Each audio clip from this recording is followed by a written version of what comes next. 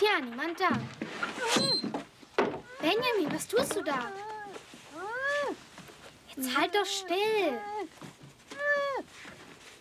Was ich hier tue? Ich bin sicher nicht hier zu meinem Vergnügen, das schwöre ich dir. Alles noch ganz? Nicht verletzt? Nein, nein, alles klar. Wo läuft er denn jetzt hin?